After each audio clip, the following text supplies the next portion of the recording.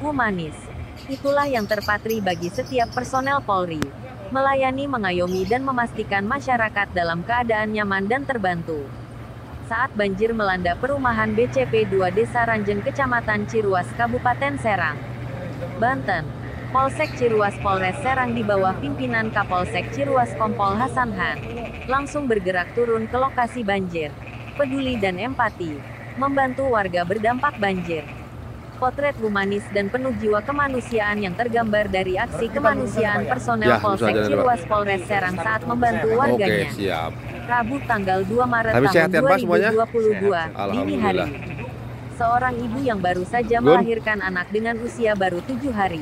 Tidak kuasa keluar rumah karena kondisi jalan yang telah berubah menjadi ibarat sungai. Di ruas jalan perumahan menuju pengungsian keluarganya. Tentu tidak memungkinkan ibu yang baru saja melahirkan tersebut mampu menyeberang dengan leluasa. Personel Polsek Ciruas yang mengetahui adanya kondisi ibu tersebut, langsung bergerak menuju lokasi dan melakukan evakuasi. Iya saat itu kami langsung mengevakuasi ibu itu dengan menggunakan mobil patroli.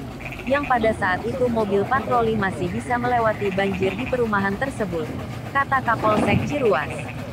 Hasan Khan menjelaskan, kondisi ibu itu sangat lemah saat Jack, hendak gas, Jack, dibawa. gas, Jack, gas, Di gas, ujung berita ini, Kapolsek Ciruas memastikan, sebagaimana instruksi dan arahan Kapolres Serang, seluruh personel harus selalu siaga membantu warga, agar mereka nyaman dan merasa terlindungi.